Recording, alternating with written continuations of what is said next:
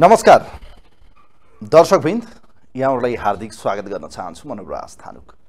आजको चक्रव्यूहमा हामी कुराकानी गर्दैछौँ। पूर्व सांसद समेत रहिसक्नु भएको व्यक्तित्व हुनुहुन्छ वरिष्ठ अधिवक्ता। आजको विशेष अङ्कमा नेकपा एमालेको नेता कृष्ण भक्त पोखरेल। खास गरी अहिले यो परिस्थिति बनिरहँदाखेरि देशमा विकराल समस्याको समाधान के हो भनेर यसको मेसो या मियो अहिलेसम्म पत्ता लाग्ने अवस्था छैन। कारण बढ्दो निराशा व्यवस्थाप्रतिको फ्रस्ट्रेसन विदेश पलायनको अवस्था र देशमा व्यापक रूपमा चाहिँ एक किसिमको असन्तुष्टिको जड के हो किन चाहिँ परम्परागत दल या विद्यमान दलहरूप्रति वितृष्णा बढेर गयो? योतर्फ दलहरू गम्भीर छैनन्। आज देशका हरेक कुना कन्दराको युवा या भनौँ वयस्क व्यक्ति पनि देशमा नबस्न सक्ने अवस्था बनिरहेको अवस्था छ। वृद्ध वृद्धाको देश बालबालिकाको देश बन्ने हो कि भन्ने चिन्ता एकातिर सताइरहँदा अर्कोतिर आर्थिक अवस्थाले पनि देश जर्जर अवस्थामा कहीँ कतै यो क्राइसिस आर्थिक मन्दी या भनौँ आर्थिक सङ्कटतिर देश जाने हो कि भन्ने चौतर्फी चिन्ता पनि व्यक्त भइरहेको छ। एउटा विषय। दोस्रो विषय सरकारले संविधान सभा या भनौँ संविधान जारी भएको दिन संविधान दिवसको दिन विभिन्न अभियोजन या विभिन्न मुद्दामा चाहिँ माफी मिनाहा गर्ने परिस्थिति हो। जसमध्येको एउटा पात्र योगराज ढकाल रिगल भनिने व्यक्ति जो हत्या अभियोगमा चाहिँ नेपालगञ्जको दिनदहाडै हत्या गरेको अभियोग खास गरी त्यहाँ एकजना युवा चेतन मानन्दरको। ती व्यक्तिको मुद्दा अहिले अदालतमा संयुक्त इजलासमा बहस चलिरहेको छ कार्यक्रम रेकर्ड गरिरहँदासम्म। यस्तो परिस्थिति बनेको छ कि यो मुद्दामा अब अदालतको नजर के पर्ला उसले कस्तो नजर स्थापित गर्ला? सँगै सरकारले गरेको चाहिँ सिफारिसमध्ये कैयौँ विषयमा चाहिँ आलोचना सुरु भएको छ। गम्भीर प्रकृतिका जघन्य अपराधमा के माफी मिना गर्न सही हो त? यसमा सरकारको त्रुटि कहाँनिर देखियो? या भनौँ यसमा कहाँनिर चाहिँ अदालतले अब टेकेर फैसला गर्न सक्ने या आफ्नो सुनवाई दिला?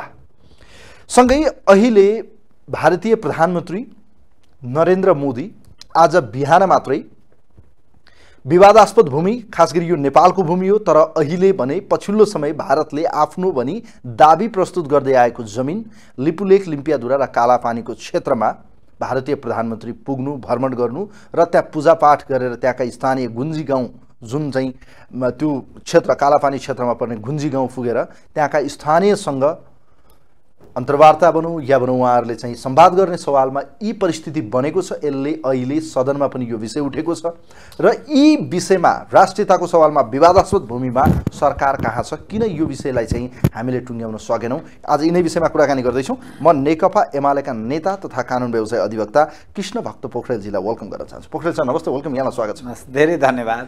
आराम हुनु छ ठिक छ। अब कुरा गरौँ सर यो रिगल भनिएका व्यक्तिको विषय पनि चर्चाको विषय छ।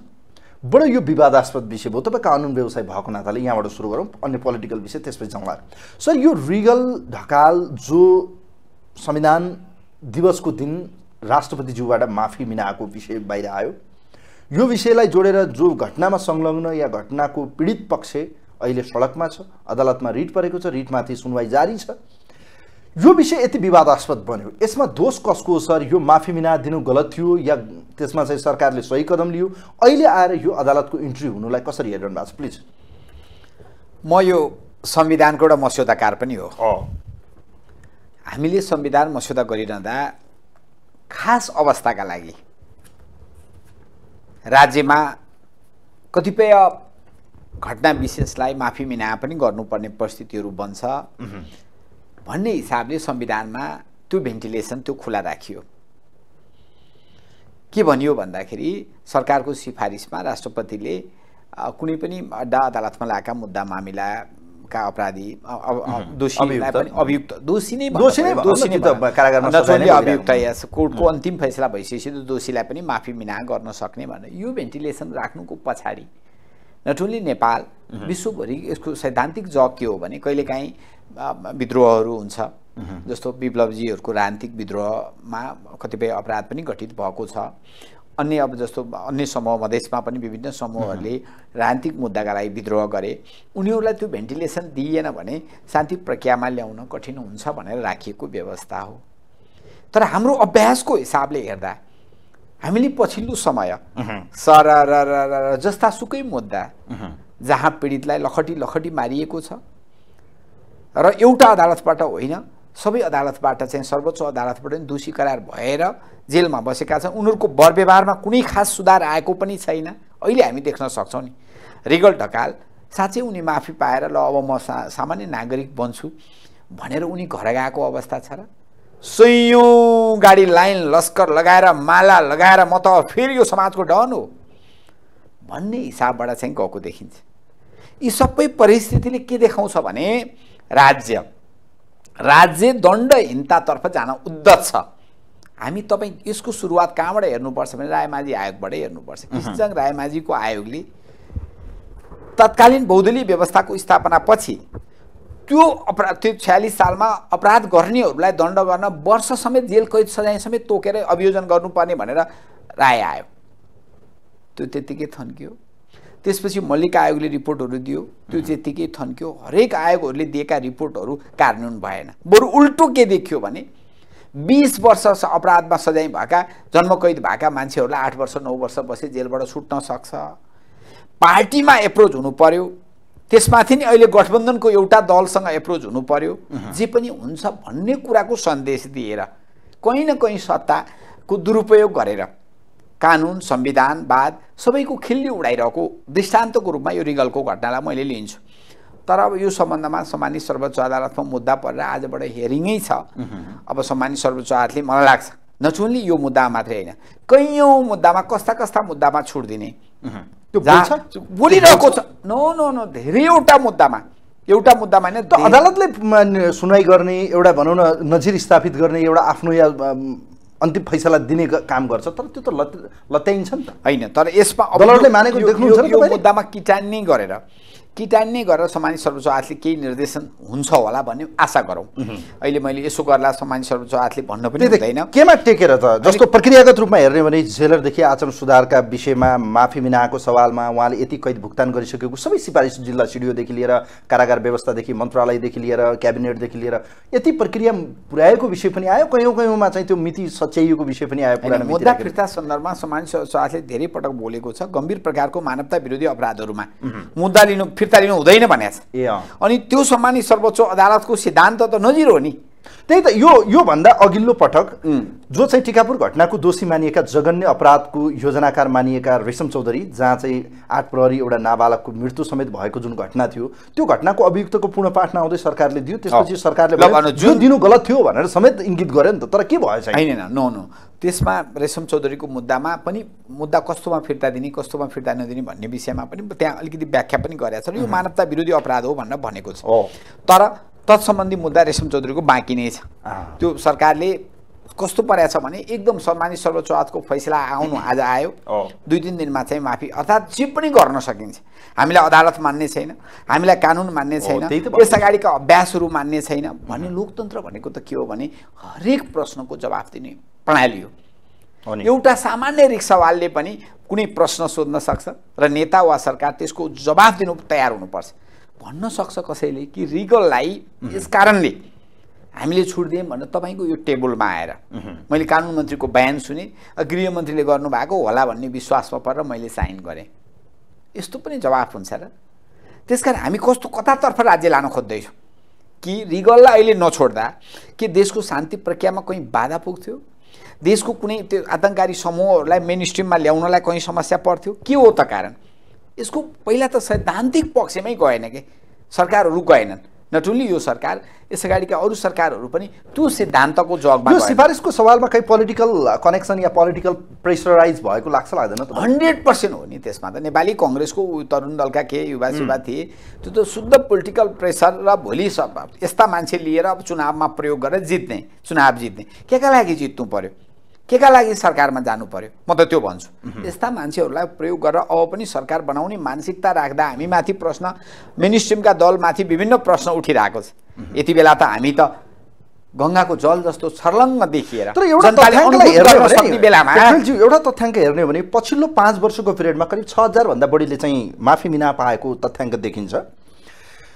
यो घटना एउटा पर्टिकुलर घटना देखियो यसको पीडित सडकमा आएको कारणले गर्दा यो विषय बढी अढी बढी नै भनौँ न एउटा इस्यु बन्यो। कदम कदाचित यो हुँदैन थियो या उहाँले सो अफ गर्दैन हुनुहुन्थ्यो या भनौँ यो परिस्थितिमा पीडित सडकमा नआएको भए या अनसनमा अदालतसम्म अदालतको ढोकासम्म नपुगेको भए यो विषय पनि विगतका अरू मुद्दा जस्तै हुन्थ्यो होइन? विगतमा पनि त अरूले पनि पाए नि त त्यसै बिना त्यस्ता जघन्य अपराधका त्यसै विषय कारण मैले यहाँ निवेदन गर्दैछु संविधानमा भएको जो भेन्टिलेसन हो नि त्यो भेन्टिलेसनको प्रारम्भदेखि नै फ्रम द भेरी बिगिनिङ हाम्रा अभ्यासहरू गलत भएर। अडचालिस सालमा जब कङ्ग्रेसको सरकार बन्यो सरकार बनेपछिको तपाईँ दृष्टान्त हेर्दै जानुहोस् कि एकपछि अर्को श्रृङ्खलाबद्ध रूपमा यो भेन्टिलेसनको दुरुपयोग भयो। यो भेन्टिलेसन राष्ट्रको समृद्धि र शान्ति प्रक्रिया यी तमाम तमाम चिजका लागि यो भेन्टिलेसन राखिएको थियो। तर यसको यस ढङ्गबाट दुरुपयोग भयो कि जघन्य अपराध अपहरण गरेर मान्छेको हत्या भएको छ। उसलाई माफी के कारणले माफी दिने? र अनि त्यस्तो हुँदाखेरि न्यायको अनुभूति न्यायका उपभोक्ताहरूले न्यायको यो देशमा मैले न्याय प्राप्त हुन्छ मेरो न्यायको सुनिश्चितता छैन भन्ने ठान्छन् भने अनि तपाईँले मत मतका माध्यमबाट त्यो जनताको मत खाएर आएर सरकार बनाउने तपाईँसँग कुनै अधिकार राख्नुहुन्छ? त्यसकारण संविधानको प्रारम्भदेखि नै म यो ऊ भनिरहेको छैन संविधानको प्रयोगको सन्दर्भमा विशेष हामीले बहत्तरको संविधान लेखेपछि त्यसको अब सबै संविधानमा अक्षर अक्षर त लेखिँदैन यस्ता मुद्दा उस्ता मुद्दा भन्ने तर तत्सम्बन्धमा नै राजनीतिक मुद्दा के अरे मुद्दा फिर्ता सम्बन्धी हामीसँग कार्यविधि छ। त्यो कुनै चिजलाई जगमा नटेकिकन कुनै जगलाई नटेकिकन आफन्त वा आफ्नो दललाई कसरी बेनिफिट हुन्छ? अब अब गुन्डा राजका आधारमा चुनाव जितिने होइन। हिजो एउटा कुनै बेला थियो अब त्यो होइन। तर भ्रम त छ नि त अझै पनि त्यो दलहरूमा भएको त्यो भ्रम र कहीँ न कहीँ आफ्ना कार्यकर्ताहरूलाई संरक्षित गर्ने तागत छ हामीसँग। अब त त्यहाँ त पीडितका परिवारहरू त कोही एगेन्स्टमा त जान्ने भएन नि। आज त एउटा मार्दा आठ वर्षमा छुट्छ भने अर्को पनि जुनसुकै बेला मरिन सक्छ। जे भन्छन् यिनीहरूले त्यसको पछाडि लाग्नुपर्छ भन्ने परिस्थितिको। त्यो परिस्थिति हुन्छ। त्यस कारण यो विषयमा हामी हेर्नुहोस् म त यो संविधानको मस्यौदाकार भएको नाताले मलाई कस्तो लाग्थ्यो भने यो संविधान निर्माण भएपछि जिन्दाबाद मुर्दाबादको युग त सकियो होला। अब कम्युनिस्टले काङ्ग्रेसलाई गाली गर्नुपर्ने काङ्ग्रेसले कम्युनिस्टलाई गाली गर्नुपर्ने दिन त सकियो होला। अब त समृद्धिको यात्रा निर्माण गर्न हाम्रो त सहयात्रा होला वर्षौँसम्म भन्ने त्यो आशाका साथ संविधान जारी भएको दिन म वास्तवमा जीवनको सबभन्दा ठुलो खुसी थिएँ। तर त्यसको केही वर्षपछि नै हामीले त्यसको श्रृङ्खलाबद्ध एक- एक गरी चाहिँ हामीले त्यसको गर्दै गयौँ। त्यो संविधानका स्पिरिटहरूलाई बलात् गर्दै हामी ओके सर अब जस्तो यो विषयमा तपाईँलाई के लाग्छ? यहाँ अदालतले के साँच्चीकै पीडितको पक्षमा आउन सक्ने न्याय छ भनेर उहाँले भनिरहनु भएको हामी सुनिरहेका छौँ। न्याय मरेको छैन मैले न्याय पाउँछु भन्ने सवाल उठिरहँदा तपाईँलाई के लाग्छ? फेरि रिगल चाहिँ जेल जाने सम्भावना देख्नुहुन्छ? या यसमा फेरि सरकारकै पक्षमा चाहिँ किनभने तपाईँले त देखिरहनु भएको छ मैले भनिरहनु परेन। कहीँ कहाँ चाहिँ इन्फ्लुएन्स कतिखेर कहाँ चल्छ त्यो देखिरहनु भएको छ। भलै यो पूर्ण इजलासमा भएको कारणले या संयुक्त इजलास भएको कारणले गर्दा त्यो सम्भावना न्यून होला। के लाग्छ त सर? यसमा चाहिँ हुन सक्ने सम्भावित के हुनसक्छ। हाइपोथेटिकल है यो हुन्छ भनेर हामी भन्दैनौँ।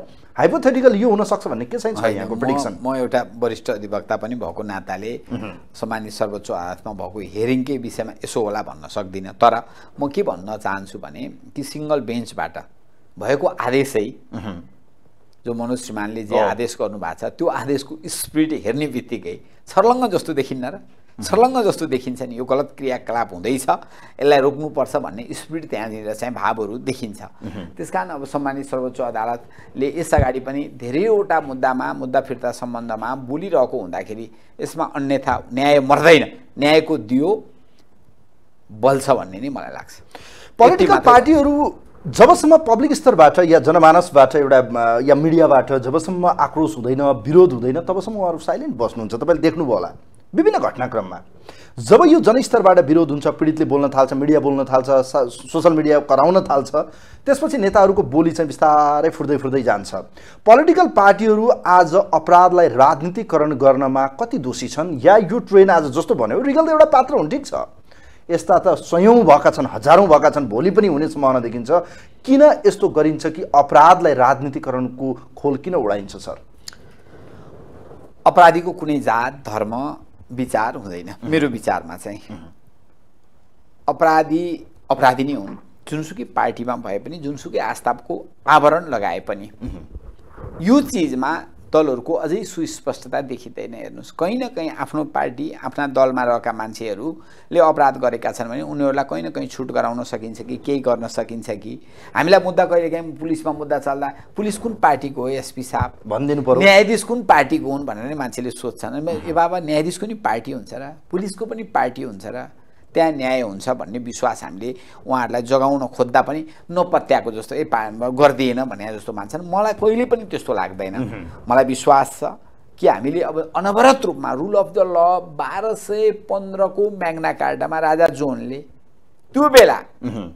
हजारौँ वर्ष अगाडि नै तपाईँको कि पर्सनल लिबर्टीका कुरा सम्पत्तिका अधिकारका कुरा संसदबाट बाहेक अन्यत्रबाट कहीँबाट कर लगाउन पाइँदैन भनेको कुरालाई राजा जोनलाई म्याग्ना कार्टा भन्ने ठाउँमा बेलायती जनताले लगेर हस्ताक्षर गराएको त्यो इतिहास त्यो गर्वका साथ विकसित हाम्रो समाज।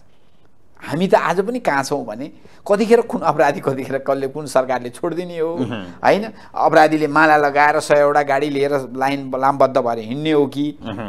भन्ने जो आशंकाको एउटा कालो बादलमा मडारिरहेको छ तपाईँहरूले नि खबरदारी गर्नुपर्छ हामी हामी हाम्रो दलमा पनि कहीँ कुनै दिन त्यस्ता पुराना। दलहरू सचिने सम्भावना छ र सचिनुपर्छ। न सचिएन भने सकिने कुरा हो सचिनुपर्छ। जुन कुरालाई पब्लिकले पचाउन सकिरहेको छैन जुन कुराको लगातार पब्लिकले चाहिँ डिफेन्स गर्छ तिमी गलत छौ भनेर उसलाई चाहिँ वार्निङ गरिरहन्छ तर पनि त ऊ त सचिन तयार नै त। मैले अघि नै भने नि लोकतन्त्र प्रश्नको जवाफ दिने प्रणाली हो पारदर्शी शासन प्रणाली हो उत्तरदायी शासन प्रणाली हो।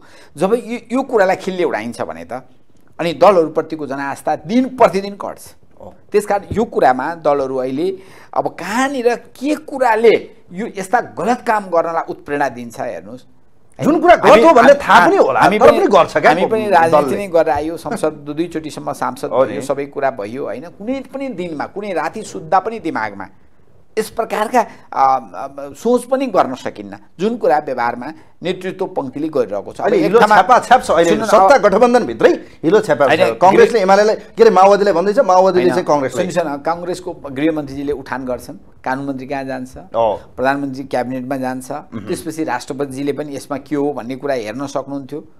चरणबद्ध हेर्नु न। चरणबद्ध कहीँ पनि मानवीय संवेदनशीलता हराएको अवस्था हो रिथिङ्किङ। नै भएन क्या? एकचोटि पुनर्विचार गरौँ के हो त भोलि- त्यसको चाहिँ एकचोटि फर्र पारेर उसको ब्याकग्राउन्ड नै हेर्दैन जनताले। हामीलाई प्रश्न गर्न. सक्लान् हामी जवाफ दिनु पर्ला। कुन जगमा उभिएर जवाफ दिने होला भन्ने कुरा उहाँहरूले कहिले पनि ठान्नु भएन। हामी शासक हो हामीले जे गरिदिने हुन्छ भन्ने ठानेर यी सबै कुरा भइरहेको अनुभूति खैर अब कुरा गरौँ सर सरकारको काम गराइको विषयमा कुरा गरौँ। अहिले अन्य विषय घटनाक्रमहरू पनि तपाईँले देखिरहनु भएको छ। आज सरकार कहाँ छ लाग्छ सर? तपाईँले एउटा घटना आज ताजा घटना हो। हाम्रो समकक्षी छिमेकी राष्ट्रको प्रधानमन्त्री। हाम्रो भूमि लिपुलेक लिम्पियाधुरा र कालापानी भलै यो सुगौली सन्धिको विषय कुरा गरिन्छ। यो विवादास्पद भूमि भनिन्छ। तर हामी भन्छौँ हाम्रो भूमि हो। भारतले भारतले त्यहाँ आफ्नो सेना खडा गरेको छ। लिपुलेक लिम्पियाधुरा र कालापानी आज मात्रै भारतीय प्रधानमन्त्री नरेन्द्र मोदी आउनुभयो। ध्यान तपस्या गर्नुभयो। पूजापाठ गर्नुभयो। त्यहाँ गुन्जी गाउँमा गएर भेटघाट गरेर त्यहाँ चाहिँ फर्किनुभयो यत्रो खबर समेत नेपाल सरकारलाई जानकारी छैन सर। यो सरकार कहाँ छ सर? यो या त हामीलाई सबै थाहा हुन्छ हामी बोल्न नसक्ने हैसियत हो हाम्रो। के हो? किनभने तपाईँहरू सरकारमा हुनुहुन्थ्यो। तपाईँहरूले नै हो नि त यो लिपुलेक लिम्पियाधुरा र कालापानीको नक्सा यो चुचे नक्सामा त देखाउने हो कि सर? यसमा डायलग पनि गर्ने हो तब। यसको हामीले प्रारम्भिक इतिहासबाटै थोरै विश्लेषण गर्नै पर्छ। अठार सय सोह्रको सुगौली सन्धिले काली पूर्वको भाग नेपाल भनेर बोल्यो। कालीलाई त्यहाँको स्थानीय भाषामा कुटियाङदी भन्छ। हो होइन? परम्परागत बगेको कुटियाङदी नदीबाट पूर्वतर्फ हुन् कालापानी लिन्पियादेरा लिपुलेक सबै भूभागहरू तर उसले एउटा नक्कली कुटियाङदी जस्तो एउटा खोला मानव कुलो जस्तो बनाएर यो कुटियाङदी हो यसबाट पूर्व मात्रै नेपाल हो भन्ने हिसाबबाट भारतले जबरजस्त गरिरहेको छ। र वास्तवमा हाम्रो पार्टीका श्रद्धेय अध्यक्ष तत्कालीन प्रधानमन्त्री केपी शर्मा ओलीले एउटा ठुलो चुनौती सामना गरेर नै सिंहमेव जयतेको युग सकियो। सत्यमेव जयतेको युग सुरुवात भयो भनेर उहाँले जुन चुच्चे नक्सा प्रकाशित गरेर नट ओन्ली प्रकाशित कि संसदको सर्वसम्मतबाट उहाँले चाहिँ प्रमाणीकरण गरेर गर्ने काम जो गर्नुभयो यो इतिहासकै एउटा ऐतिहासिक कदम हो भन्ने मलाई लाग्छ। तर अब यो घोषणा गरियो। घोषणा गरिसकेपछि कार्यान्वयन गर्न त सबै सरकारहरू यो कुनै कङ्ग्रेस माओवादीले पनि त्यहाँ विरोध गरेको त होइन। सबैले यसमा समर्थन मधेसवादी एउटा दल सरिताजीले विरोध गरिरहनु भएको थियो। सरिताजीको संसद सदस्य खारेज भयो। त्यो तहसम्म राष्ट्र पुगेर एकताबद्ध भएर गरेको चिज।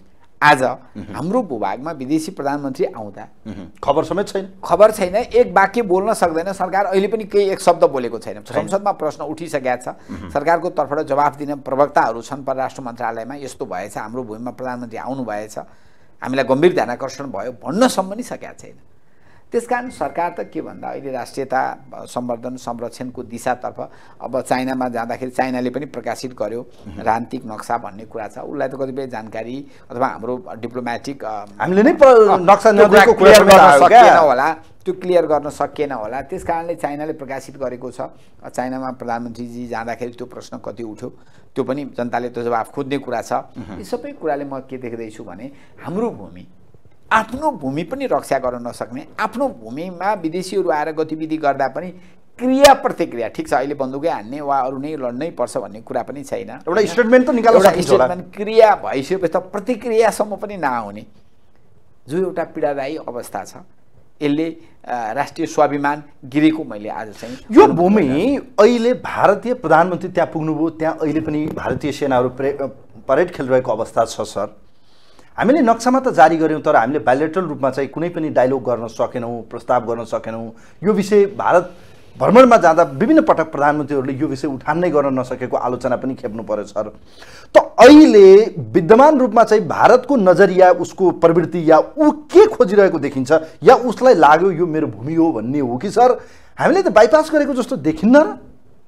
कुनै महत्त्व दिएको देख्नुहुन्छ र कुनै हामीलाई चाहिँ त्यहाँ चाहिँ उसले चाहिँ ओ ओहो यो त उसको भूमि हो जानुभन्दा पहिले मैले चाहिँ पर्मिसन लिनुपर्छ या होइन म त नेपाल सरकारलाई जानकारी गराउनुपर्छ यो देख्नुभयो कि उसलाई त के लागिरहेको छ मेरो भूमि हो म जानुपर्छ म पुगेर आउनुपर्छ बस। होइन उसले त एकपक्षीय रूपमा राजनीतिक नक्सा जो प्र प्रकाशित गर्यो त्यसपछि जब क्रिया गर्यो भारतले हामीले प्रतिक्रिया दियौँ होइन? हामीले प्रतिक्रिया दिएर चुचे नक्सा हामीले प्रमाणित। गरेर संविधानमा पनि त्यसलाई अन्तर्निहित गराइयो। त्यसपछि सरकारले त अब बायोलिट्रियल टकहरू गर्ने. होइन? अब त अब अन्तिम पर्दा म त के भन्छु भने अन्तर्राष्ट्रिय अदालतसम्म जानुपर्छ यो केस। अब लड्ने कुरा त आजको युगमा अब कसै हतियार उठाउने कुराले अर्थ पनि राख्दैन होइन? अन्तर्राष्ट्रिय आफ्नो भूभागको लागि अन्तर्राष्ट्रिय अदालतसम्म जाने यदि भारतले सहज ढङ्गबाट बायोलिट्रियल टकबाट मिल्दैन भने अब मध्यस्थता आदि इत्यादि खोजेर अर्थ। अर्थ भारतसँग कसैले आएर मध्यस्थता गरेर भारतले भूमि छोडिदिए भन्न भन्देला भन्ने आश गर्नु नि मिल्दैन। हाम्रो ऐतिहासिकता हाम्रा प्रमाणहरू जे छन् साँच्चै नै कुटियाङ्दी नदी साँच्चै नै काली नदीको मुहान कुन हो त? त्यो मुहान पत्ता लगाउन त विज्ञहरूको लागि त सामान्य कुरा हो। होइन काली भनेको त महाकाली हो महाकाली भनेको त विशाल ठुलो नदी हो। त्यसको मुहान कुन हो भन्ने कुराको किटानी भयो भने त हामीले पनि मान्नु पर्यो फेरि। विशेषज्ञहरूले कालीको मुहान यो हो भन्ने कुरा आएछ भने त मान्नुपर्ने हुन्छ।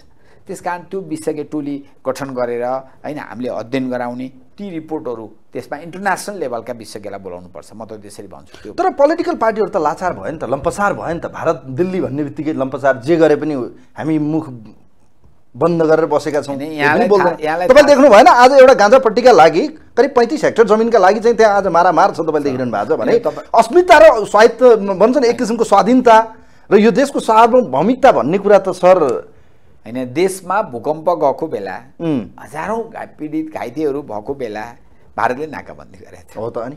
नाकाबन्दी गर्दा नाकाबन्दी हो भन्न समय पनि सुशील कोइरालाको सरकारले भन्न सकेन कङ्ग्रेसको सरकारले भन्न सकेन। केपी ओलीले प्रधानमन्त्री भइसकेपछि भारतले नाकाबन्दी गरेको छ। म नाकाबन्दी नखोलेसम्म म भारत आउँदिनँ भनेर सामान्य प्रधानमन्त्रीले भनेपछि बाध्य भएर भारतले नाकाबन्दी खोल्नु पर्यो र पारवहन सम्झौता। चाइनासँग म तिमीले यदि दिन्नौ भने ठिक छ। म थर्ड कन्ट्रीमा पनि गएर चाहिँ पेट्रोलियम पदार्थ लगायतको म पारवहन व्यवहार व्यवहार गर्छु व्यवसाय गर्छु भन्ने हिसाबले कुरा आएर पारवहन सम्झौता गर्ने भएपछि भारत बाध्य भएर त्यो नाकाबन्दी खोलेको। इतिहास त यस्तो न छ सर। त्यसकारण मेरो भनाइ अहिले अहिलेको सरकार अब लम्पसार परेर अब सरकारको आयु बढाउने गठबन्धनको आयु बढाउने एउटा मात्रै सिङ्गल उद्देश्यका साथ अहिलेको सरकार अहिलेका राजनीतिक दल सत्तारूढ दलहरूको वर व्यवहार देखिन्छ। तपाईँ सात महिनामा सात पटक मैले तराईमा त आठ पटक भयो भन्ने सुने। मध्य प्रदेशमा यो सात महिनाको बिचमा आठ पटक त मन्त्रीहरू चेन्ज फेन्ज भनेपछि अनि यसबाट के सुशासन? के को तपाईँको चाहिँ होइन हामीले आशा गरेको समृद्धि विकास शान्ति यी सबै चिजको चाहिँ सम्भावनै देखिन्न। जबसम्म यो सरकार अहिलेको गठबन्धनलाई हामी तोड्न सक्दैनौँ र एउटा नयाँ ढङ्गबाट एउटा राष्ट्रिय सरकार अथवा राष्ट्रिय सहमतिको सरकार बनाउन सक्दैनौँ तबसम्म अहिलेको यो परिस्थितिमा त आशा गर्ने सबै कुरा हराए जस्तो मलाई आफूलाई पनि अनुभूति तपाईँलाई के लाग्छ? पोखरेलजी लामो समयदेखि तपाईँ राजनीतिमै सक्रिय हुनुहुन्छ देश विदेशका सबै राजनीतिहरूलाई नजिकबाट निहाल्न सक्ने त्यो ल्याकत तपाईँसँग छ। त्यो खुबी पनि छ त्यो अध्ययन पनि तपाईँसँग छ। के चाहिँ समस्या हो कि हामी भारतसँग यो विषय उठान या कुनै पनि विषयमा हामी फेस टु फेस संवाद गर्नेका निम्ति यो है तिमीले गरिरहेको गलत छ भनेर भन्न नसक्ने के चाहिँ बाध्यता रहेछ सर नेपालमा? होइन यतिसम्म तपाईँले बडो मार्मिक प्रश्न सोध्नु भएको छ। इपिजी प्रतिवेदन। समूह गठन कसले गर्यो? दुई देशले। सहमतिमै गठन भएको के का लागि? प्रतिवेदन दिनका लागि। अरू प्रयोजनलाई रमाइलो गर्नलाई इपिजी समूह गठन भएको हो। भन्दा नेपाल र भारतको समग्र समस्या के हो? समाधान के हो? भनेर दुवै पक्ष राष्ट्रका। एक पक्ष नेपालको मात्रै त्यसमा प्रतिनिधित्व छ? छैन। भारतको पनि प्रतिनिधित्व छ। त्यो इपिजीले दिएको प्रतिवेदन बुझ्ने नबुझ्ने तहसम्म भारतले व्यवहार गरेका छ। नेपालले कम्तीमा ल इपिजी प्रतिवेदन म बुझ्छु। ल आउनुहोस्। इपिजीका विज्ञ समूहहरू तपाईँहरू आउनुहोस् म प्रतिवेदन बुझ्छु र यसमा उठाएका सवाल म भारतसँग कुरा गर्छु। साझा समूहले दिएको प्रतिवेदन प्रति पनि प्रतिबद्धता नहुने सरकार भनिसकेपछि त अरू अरू धेरै आशा के गर्ने के? अब पहिलो पटक उन्नाइस सय पचासको जो असमान सन्धि हो मनमोहनजी भारत गएर एकाउन्न सालको सरकार बन्दाखेरि उहाँले पहिलो पटक यो सवाललाई उठाउनु भएको हो। त्यसपछि सरकारहरूले सानो स्वर ठुलो स्वर जे भए पनि अलिअलि प्रश्नहरू त उठेका छन्। तर अब भारत यति आफूलाई एउटा शक्तिशाली राष्ट्रको रूपमा आर्थिकदेखि एटोमिकदेखि सबै कुराले चाहिँ आफूलाई प्रमाणित गरिसकेको छ र उसले कान्छो भाइ जस्तो व्यवहार गरेको छ। हामी चाहिँ तोम शरणम गरेर जे दिने खाने दिए खान्थे भने जस्तो मायाको दाहिने हातले भने जस्तो त्यस्तो अवस्थामा नेपालको एउटा शासकहरू। जो साँच्चै एउटा सार्वभौम अधिकार लिएर जनताको चाहिँ शासन गर्न आएका शासकहरूले त्यो इन्डियासँग कुनै कुनै कुनै पनि कुराको के प्रतिवाद गर्न सक्ने तागतै देखिन्न। उयो केपी ओलीको सरकारले गर्यो नि। वास्तवमा त्यो सिंहमेव जयतेको युग सक्यो सत्यमेव जयतेको युग सुरुवात भयो भनेर केपी ओलीले त्यो संसदमा शङ्खनाश शङ्खनाद गर्दाखेरि त्यो घोषणा गर्दा त यस्तो लाग्थ्यो कि हाम्रो शरीरमा अङ्ग अङ्ग चाहिँ मा चाहिँ एउटा स्पन्दन जस्तो आएको थियो कि। त्यही चिजलाई समाएर सबै पोखरेलजी अब भूमि चाहिँ भारतले लग्ने नक्सा चाहिँ हामीले संसदमा टाँस्ने भित्तामा टाँस्ने काम त त्यही रहेछ नि होइन। त्यो त दराजमा थन्काउनु बाहेक त केही छ र। छैन। अनि त्यसको के अर्थ भयो त? भूमि नहुने त्यो नक्साले के भने चुचे नक्साले। त्यस कारणले हामी अहिले जो प्रतिवेदनहरू हामी कानुन गर्न नसक्ने अनि आफूले गरेको चुच्चे नक्साको बारेमा चाहिँ गएर भारतसँग कङ्ग्रेसले पनि यसबाट चाहिँ उन्मुक्ति पाउने हो र माओवादीले पनि यसबाट उन्मुक्ति त्यो। नक्साको आधिकारिकता पनि हुनु पर्यो भन्ने हो। आधिकारिकता त अब संसदबाट पास भएर त्यो हामीले नक्सा त जारी गर्यौँ गऱ्यौँ तर त्यो खै त कार्यान्वयनमा क्या। कार्यान्वयनमा छैन कार्यान्वयनमा जाने? प्रश्न उठाउन सक्नु पर्यो र प्रश्न उठ्दा भारत तयार भएन भने मेरो विचारमा एउटा कानुनको विद्यार्थीको पनि हिसाबले अन्तर्राष्ट्रिय अदालतमा पनि यसलाई यसलाई एक। नजरले यो नक्कली राष्ट्रवाद या उग्र राष्ट्रवाद या खोक्रो राष्ट्रवाद भन्दा के हुन्छ यो नक्सा प्रकरणलाई? No no no. हामी नक्सा प्रकरण कुनै नक्कली राष्ट्रवाद होइन। यो सक्कली राष्ट्रवादका आधारमा अठार सय पचासको सुगौली सन्धिको जगमा प्रमाणको विश्लेषण गरेर ल्याइएको चिज हो। तर त्यसलाई समाउन नसक्ने राष्ट्रियतालाई कमजोर पार्ने कुनै शक्ति भयो भन्दैमा यो ल्याएकै चिज नक्कली राष्ट्रवाद वा खोक्रो राष्ट्रवाद त भन्नै मिल्दैन। प्रमाणको मूल्याङ्कनको आधारमा सिङ्गो राष्ट्रलाई एकताबद्ध। एमालेसँग बहुमत भएर वा एमालेसँग टु थर्ड मेजोरिटी भएर ल्याएको भने सिङ्गो राष्ट्रलाई एकताबद्ध बनाएर ल्याएको चिजलाई अहिले कार्यान्वयन गर्ने कुराबाट सत्ता पक्ष डिनाइ गर्यो भन्दैमा यसलाई खोक्रो राष्ट्रवाद त अब। भूमिमा भारतीय सेना परेड खेल्ने भारतीय प्रधानमन्त्री आउने हामी भने त्यो कागजको खोस्टो हेरेर चित्त बुझाउने। यही त रहेछ नि त राष्ट्रियता त हाम्रो लागि त अहिले। होइन यो प्रश्न तपाईँले मसँग गर्नु पर्यो ठिक छ गर्नुभयो। तर अब यसलाई कागजको खोक्रो होइन। यो एउटा राष्ट्रिय डकुमेन्ट हो। राष्ट्रियताको डकुमेन्ट हो। यो राष्ट्रियता डकुमेन्टका लागि हामी जे पनि गर्न तयार छौँ भन्ने कुरा नेपाली जनलाई बुझाउने कुरा सरकारले गर्न सक्नुपर्छ। नगर्नु भनेको के हो भन्दा राष्ट्रियताप्रतिको माया राष्ट्रियताप्रतिको दायित्व सरकारले बोध गरेन तपाईँलाई लाग्छ लिपुलेक लिम्पियाधुरा कालापानी नेपालको रह्यो या यो हामी चाहिँ एउटा गरिरहने प्रचारका निम्ति हो भन्ने मात्रै आत्म एउटा कहिलेकाहीँ चाहिँ आत्मसन्तुष्टि या आत्मरति भन्छन् नि? त्यस्तो मात्रै हो त यो भूमि हाम्रा निम्ति। या साँच्चीकै हाम्रो भूमि हो भन्दा माग्न र के माग्नु भने हाम्रो हो भनेर त लिन सक्नु पर्यो भन्ने हो क्या? के माग्नु हामीले? पछिल्लो समय यो त लाजमर्दो भयो। टिमोर चाहिँ इन्डोनेसियाबाट छुट्टिएको राष्ट्र हो. पछिल्लो समय मैले जा मेरो जानकारी अनुसार। त्यहाँका जनताले पनि निरन्तर लडे र उपलब्धि उनीहरूको हासिल। भयो होइन? अब अरू धेरै देशका हामी दृष्टान्तहरू लिन सक्छौँ होइन? अब बेलायतले कुनै बेला सबै देश आफ्नै साम्राज्यभित्र राखेका थियो। निरन्तरको आवाजपछि भारतमा सुरुमा आवाज निकाल्दा त भारतीय आवाज त गौण थियो नि। मधुर थियो नि। बेलायती साम्राज्यवादले नै पेलिरहेको थियो। तर एक दिन भारत पनि उपनिवेशबाट मुक्त पायो। त्यस्तै गरी हाम्रो भूमि इतिहासको कालखण्डदेखि नै प्रमाणीकरण को आधारमा सबै आधारमा हाम्रो जब अठार सय सोह्रको सुगौली सन्धिले हाम्रो हो भन्ने देखाउँछ भने ठिक छ आज नहोला भोलि नहोला निरन्तर लड्नु पर्यो। हाम्रा पनि विज्ञहरू भोलि निर्माण हुँदै जान्छन्। अन्तर्राष्ट्रिय अदालतहरूमा हाम्रा पनि न्यायाधीशहरू पुग्ने अवस्था हुन्छ। हाम्रो आवाज पनि सुन्ने अवस्था हुन्छ। त्यसका अनवरत लडाइँको विषय हो। यो छोड्ने भन्ने कुरा वा यो कुनै देखावटी वा रमाइलाका लागि वा खोक्रो राष्ट्रवादका लागि होइन। ऐतिहासिकताको आधारमा कालापानी लिम्पियाधुरा हाम्रो भूभाग हो। हामी छोड्दैनौँ। आज जमिनको लडाइँ हेर्नुहोस् तपाईँले देखिरहनु भएको छ। काश्मीर तपाईँले देखिरहनु भएको छ। आज तपाईँ प्यालेस्टाइनको अवस्था हेर्नुहोस् तपाईँको त्यहाँ। इजरायल र प्यालेस्टाइनको अहिले घटनाको बारेमा चर्चा गरौँ। सर जसमा हामीले नेपाली विद्यार्थी नेपाली गुमाउनु पुगेका छौँ दसजना। आज करिब करिब सरकारले पहल कदमी गरेको छ। यो घटना बडो दुःखद भयो। रेस्क्यु गर्ने सवालमा त्यो घटनामा चाहिँ परेकाहरूलाई चाहिँ सब ल्याउने सवालमा सरकारको पहल कदमीबाट तपाईँ सन्तुष्ट हुनुहुन्छ? यो सरकारले जुन तदारुकता देखायो जुन स्पिडली चाहिँ आफूलाई चाहिँ रेस्क्युकोमा उभ्याउने प्रयत्न गरेको छ यो ठिक हो? सरकार ठिकै देख्नुभयो या अझै कहीँ कतै त्रुटि या कमी कमजोरी देख्नुभयो? होइन अब आकस्मिक रूपमा. यो घटना घटित हुन गयो। अब इजरायल र प्यालेस्टाइनहरूको बिचमा त सयौँ वर्षदेखि लडाइँ हुँदै आएको छ। तर यो पछिल्लो आक्रमण चाहिँ यो पचास साठी वर्षको सबभन्दा ठुलो आक्रमणको रूपमा लिन सकिन्छ। अब चारैतिर बम्बार्डिङ भइरहेको अवस्थामा सरकारले त्यहाँ प्लेन लिएर जान सक्ने अवस्था पनि थिएन। होइन जब त्यहाँबाट पनि इजरायल सरकारले पर्मिसन दिएपछि नै जाने कुरा हो। तर अझै त्यहाँ रेस्क्यु गर्ने कुरामा त्यहाँका बच्चाहरूलाई सबैलाई सूचना प्रवाह गर्ने कम्तीमा एक ठाउँमा एम्बेसीमा सेल्टरमा ल्याएर राख्ने जस्ता कुरामा डिले भयो भन्ने कुरा सुनिएको छ। तर सरकारले अरू गर्नुपर्ने कर्तव्यहरू त गरिरहेकै छ यसमा जस्तो लाग्छ। हामी राम्रो कुरालाई हेर्नुहोस् कहीँ नराम्रो भनेर भन्ने कुरा पनि छैन। तर त्यहाँको इजरायलको जस्तो एम्बेसीमा अब जस्तो कि त्यहाँको भाषा जान्ने मान्छे त्यस्तो पनि कुनै सुधिरहनु पर्ने विषय प्रचार जस्तो के। त्यो त एउटा स्वाभाविक जब सङ्कट पर्दा त्यहाँ ड्राइभरदेखि विभिन्न तहको त राखेकै होला। त्यहाँको भाषा जान्ने होइन? त्यो आन्तरिककरण गरेर त्यो प्रचारै गर्नुपर्ने विषय पनि थिएन होइन? नक्कली कुरा चाहिँ देखिन्छ। त केही विद्यार्थीहरूले हामीलाई अहिलेसम्म पनि हामी सम्पर्कमा आउन पाएका छैनौँ सेल्टर होममा जान पाएका छैनौँ भन्ने कुरा गुनासो सुन्नु भएन। नत्र टाइमली यस्ता विषयमा सर्वदलीय बैठकहरू पनि बसे सर्वदलीय बैठकबाट केही सरकारलाई निर्देशनहरू पनि दिएको छ।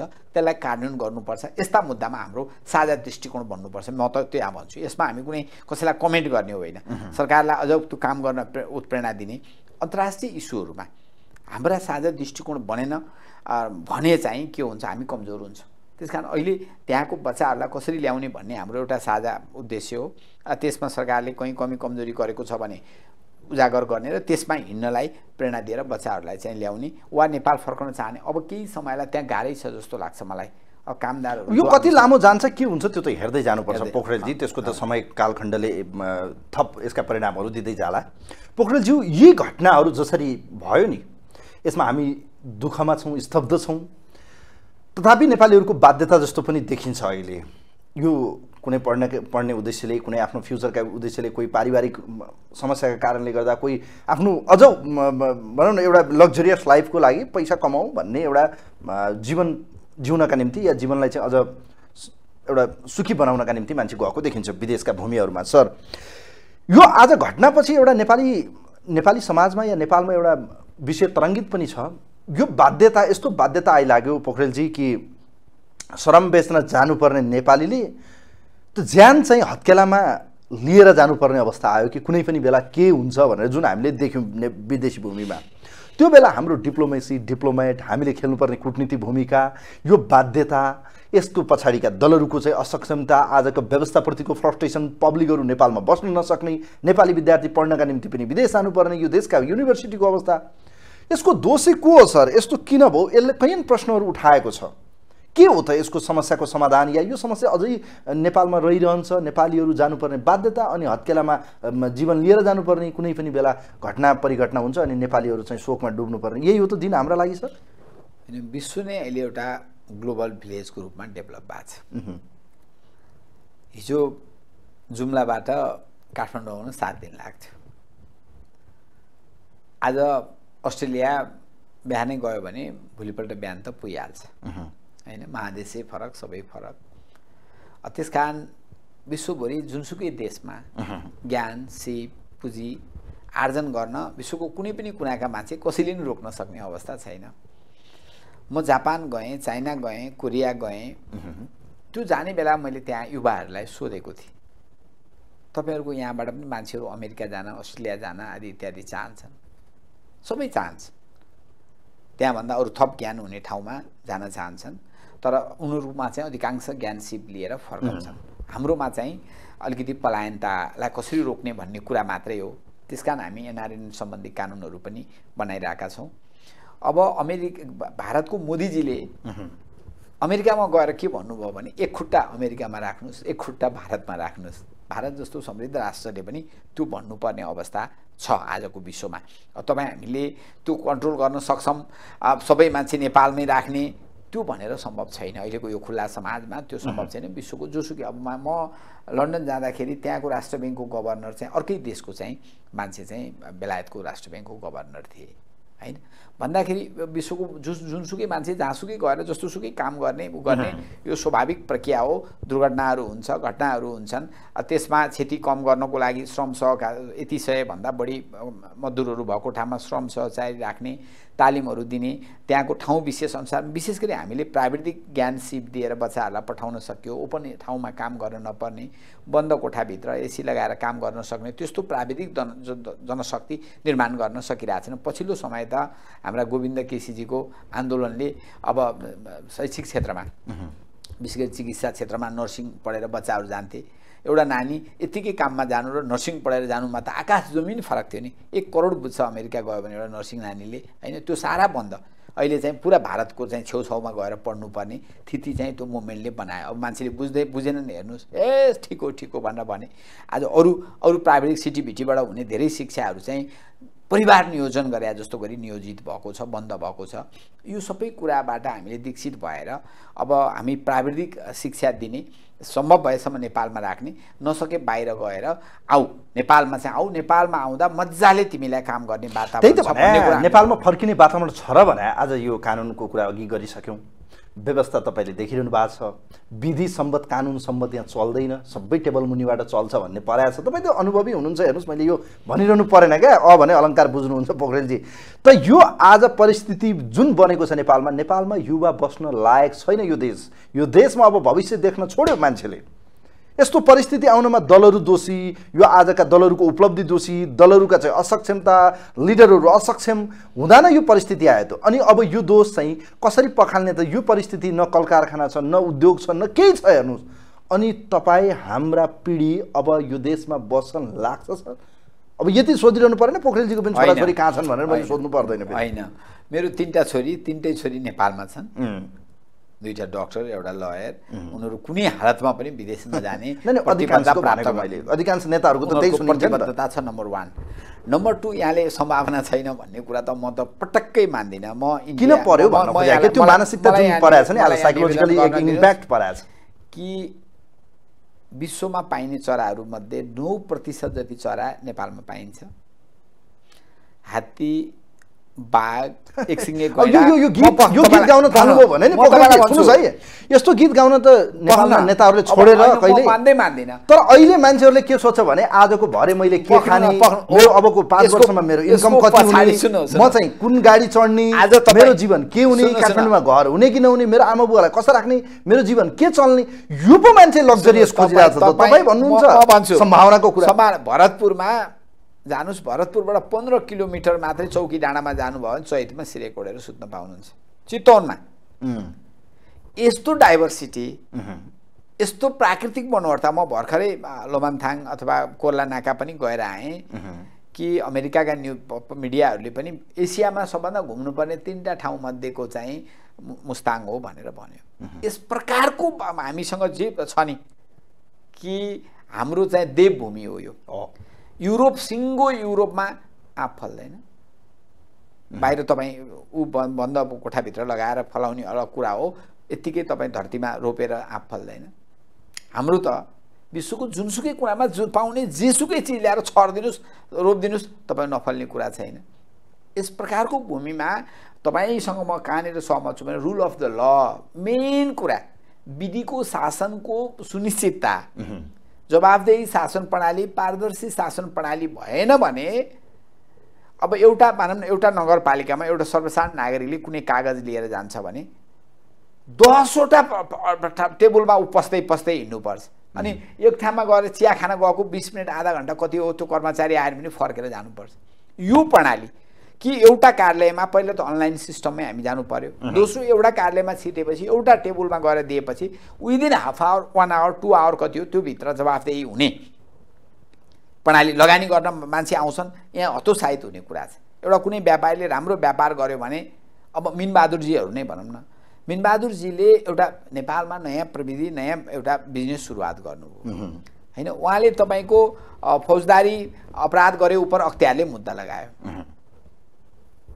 फेरि सम्पत्ति लिएको त यत्तिकै जफ्त हुँदैछ त्यही मुद्दाबाट। फेरि उहाँलाई लगेर जसरी पनि थुन्नुपर्ने मिनबहादुरजीलाई जसरी पनि थुन्नुपर्ने होइन? त्यसले त के भन्दा सिङ्गो राष्ट्र राष्ट्रवादी जो जो व्यापारीहरू छन् राष्ट्रिय पुँजीपति सबै हतोत्साहित हुने कुरा हुन्छ नि। उनीहरूलाई त देवानी अपराध गरे उप देवानी दायित्व बेहोऱ्याऊ। क्रिमिनल अपराध गरे उप क्रिमिनल केस लगाऊ। होइन एक फेर लगाइसक्यो क्रिमिनल केस तर त्यही मान्छे यो यो घटनाक्रमहरूले हेर्दा अनि नेपालमा बस्छ त व्यापारीहरू नेपालमा बस्छ त भविष्य देखेको मान्छे विदेशमा गएको मान्छे नेपालमा इन्भेस्ट गर्छ त। त्यसै कारणले म दलहरूको बिचमा जसरी राष्ट्रियताका सन्दर्भमा मैले तपाईँले यति राम्रो कुरा गर्नुभयो नि पोखरेलजी मैले- सुन्दर देश छ एउटा डायमन्ड एउटा गोल्ड जस्तो देश सुनको कचौरा भनिन्छ हामीलाई। देवभूमि भनेर देवभूमि भनौँ। यस तर आज यो देवभूमिलाई हामीले नर्क जस्तो किन बनायौँ? हो। यहाँ बस्न लायक भएर त इजरायल- किन बनाइयो त यस्तो हो? दोषी त दलहरू होइन कङ्ग्रेस एमाले माओवादी? म एउटा राजनीतिक दलको मान्छे। मैले इजरायलको घटनाको सन्दर्भमा सरकारले गरेका कामको मैले कुनै कमेन्ट गरेर गर्नु। गरिनँ भएन, नि। गर्नु। भएन। राम्रो काममा अरू थप मद्दत गरौँ सरकारलाई भनेर मैले भने. हो यो धारणा राष्ट्रियताका सन्दर्भमा समृद्धिका सन्दर्भमा हाम्रा साझा दृष्टिकोण हुनु पऱ्यो कि? दलहरू आज पनि के देखिन्छ भने एक खाले सरकार आयो भने एउटा व्यापारीलाई एकदम प्रशय हुने। अर्का व्यापारी पुरै निरुत्साहित उन सबैलाई हामी समान दृष्टिकोण राख्न सकेनौँ त्यो समान दृष्टिकोण मेरा मनबाट नि उब्जने कुरा होइन। रुल अफ द लबाट उब्जनु पऱ्यो कि? रुल अफ द लले जब प्रिभेल गर्छ सबै कुरा हुन्छ। तर आज त रुल अफ ल हारेको छ रुल अफ द ल सिफारिस चल्छ पोलिटिकल पार्टीको। Yes. को चाहिँ यो चिज। रहेसम्म यो चिज रहेसम्म यसलाई अन्त्य गर्नका लागि मैले अहिले प्रारम्भमै यहाँलाई भनेको छु संविधान निर्माणपछि यो संविधान निर्माण गर्ने दलहरू कम्तीमा पनि के? यस्तो एकताबद्ध भएर हामीले के भन्यौँ? सबै नागरिकलाई हामी चाहिँ तिन वर्षभित्र खान दिन्छौँ। कोही नागरिक भोको हुन्न। दलितका लागि सबैलाई तिन वर्षभित्र घर र जग्गा दिन्छौँ भन्यौँ। सबै नागरिकलाई रोजगारी दिन्छौँ तिन वर्षभित्र भनेर भन्यौँ। कसले भनेको त्यो? काङ्ग्रेस एमाले माओवादी भएर भनेको। आज त्यो त्यो कर्तव्य तपाईँ निर्वाह गरिरहनु भएको छ। अनि तिनवटा एक ठाउँमा उभिनु पर्दैन। मुख मूल दल त अरू सब तफसिलमा राख्नुहोस् न। तर तिनवटा दल तिनतिर फर्कने। होइन एकले अर्कोलाई पाउँदाखेरि चाहिँ निषेध गर्न प्रयत्न गर्ने। यो जे चिज अहिले सत्तारूढ दल विशेष गरी विधिको शासनको जुन ढङ्गबाट खिल्ली उडाउने काम गरिरहेछ यसले तपाईँले भनेका प्रश्नहरू युवाहरूको मनमा उब्जिरहेछ तर हामीले अब बिग्रन दिन हुँदैन। समयलाई अझै पनि छ हेर्नुहोस्। होइन सुधार गर्न सक्ने सम्भावना छ र हामीसँग भएको प्राकृतिक मनोहरता यस्तो छ कि म स्विजरल्यान्ड पनि गएँ जेनेभा। सबै कुरा जेनेभामा के छ हाम्रो अगाडि। हुनेछ। तपाईँ त अझ कानुनको रूपमा विद्यार्थी पनि हुनुहुन्छ। जुन दिन रुल अफ ल चल्छ विधि सही तरिकाले चल्छ नि त्यो दिन सब ठिकठाक हुन्छ। तर त्यसका निम्ति पोलिटिकल स्टेबिलिटी अब हेरौँ कोसीमा जाउँ एकचोटि। तपाईँले संविधान ल्याउनु भयो तपाईँहरू मिलेर ल्याउनु कोसीमा एक वर्ष नहुँदा नहुँदै आज त्यहाँ मध्यावधिको डिलमा पुगेको छ तपाईँले देख्नु भएको छ। भोलि अन्तिम दिन छ शुक्रबार। त्यहाँको प्रदेश प्रमुखले दिएको समय सीमा सहमति हुने सम्भावना पनि कसरी घुमी घुमी तेह्र सिट जितेको चाहिँ त्यहाँ माओवादीले चाहिँ दिनुपर्ने परिस्थिति बनेको छ गठबन्धनले अगाडि सारिसक्यो। तपाईँहरू त फुत्किसक्नुभयो। अब रापरपा मेजर छ त्यहाँ। के हुन्छ लाग्छ सर? सहमतिमा कङ्ग्रेस एमाले माओवादीको तपाईँले कुरा गर्नुभयो तर त्यहाँ गएर चाहिँ कस कन्डिसन हेर्नुहोस् अब तपाईँ। यस्तो परिस्थिति किन आयो? हो यिनै कुराले मान्छे वाक्क दिक्क भयो कि? यो यो सिस्टम नै खराब रहेछ। यो संविधान नै खराब यो सिस्टम नै खराब खत्तम बनाइएछ। यो कसले ल्याइदियो अब? यहाँनिर प्रश्न उठ्छ। म कोसीको दुवै मुद्दामा वरिष्ठ अधिवक्ताको हैसियतले अँ। हिम्मत बहादुर कार्कीको तर्फबाट सम्मानित सर्वोच्च अदालतमा यो दस वर्षमा म पहिलोपटक बहस गर्न गएको छु।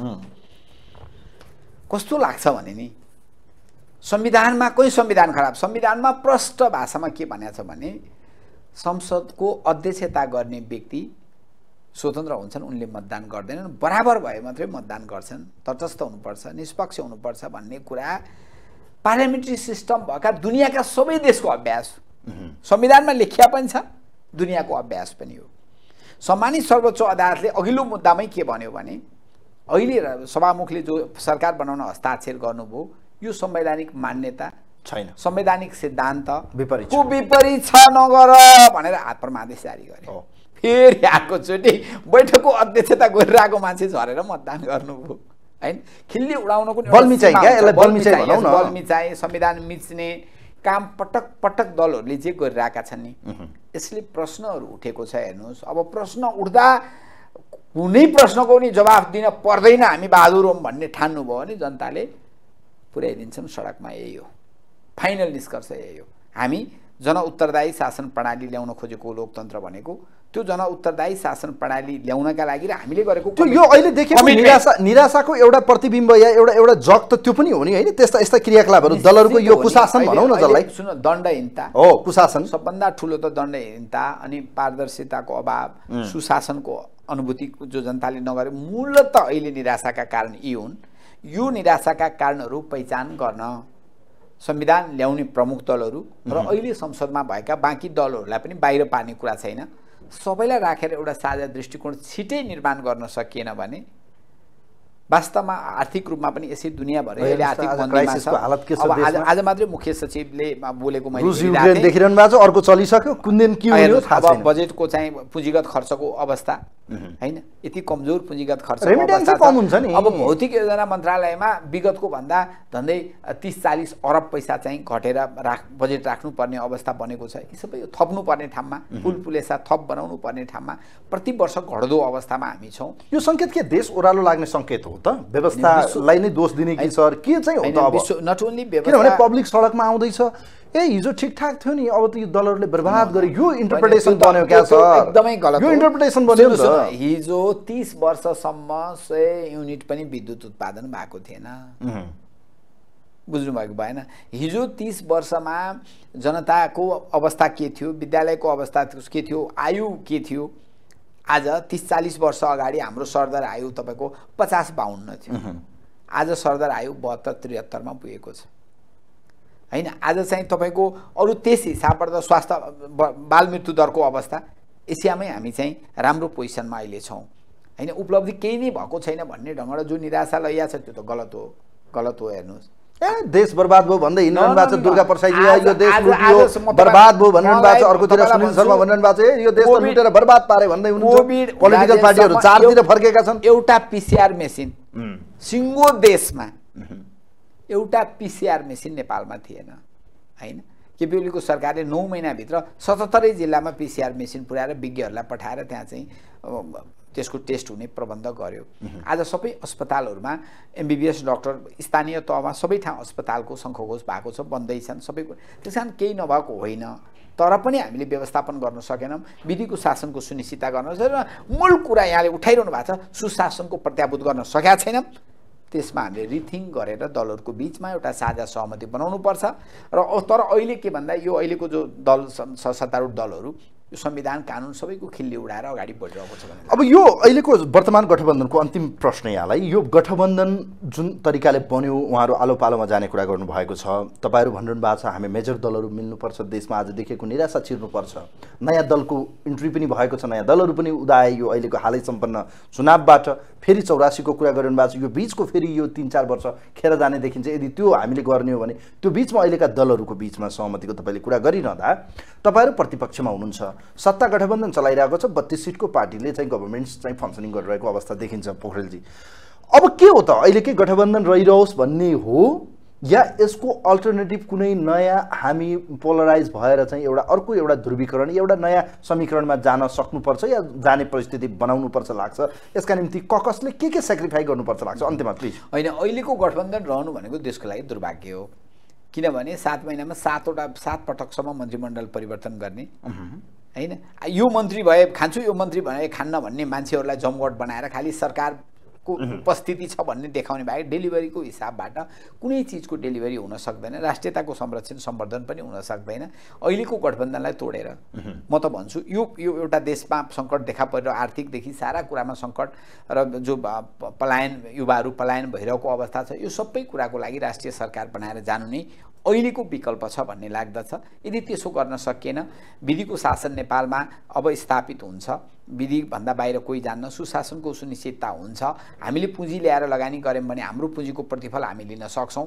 हामी व्यापारीमाथि अन्धाधुन्दा ढङ्गबाट चाहिँ व्यवहार हुँदैन भन्ने कुराको सुनिश्चितता एउटै मुद्दामा एउटै सम्पत्तिका विषयमा पटक पटक मुद्दा अभियोजन गरेर मान्छेलाई दण्डित गर्ने परिस्थिति भयो कसले लगानी गर्छ। करोडौँ अरबौँ रुपियाँ लगानी गरेर प्रतिफलमा चाहिँ दण्ड दण्ड दण्ड। यो चिजहरू जे देखाइ देखाइँदैछ खास खास व्यक्तिलाई फेरि खास खास व्यक्तिलाई यो चिजहरूले चाहिँ हामी सही निष्कर्षमा पुग्न सक्दैन। हस् समयको लागि धेरै धेरै धन्यवाद छ यहाँलाई। हस् यहाँलाई पनि धेरै धन्यवाद। दर्शकबिन्द आजको चक्रव्यूहमा हामीसँग संविधान सभाको सदस्य पूर्व सांसद समेत रहिसक्नु भएको व्यक्तित्व वरिष्ठ अधिवक्ता नेकपा एमालेको नेता कृष्ण भक्त पोखरेल आजको अतिथि हुनुहुन्थ्यो। उहाँसँगको यो विशेष संवादसँगै कार्यक्रममा यहीँ टुङ्ग्याउँछु। कार्यक्रम हेरिदिनु भयो धन्यवाद दिँदै कार्यक्रमको विशेष श्रृङ्खलाबाट कार्यक्रमको टिमसँगै म पनि बिदा हुन्छु। नमस्कार।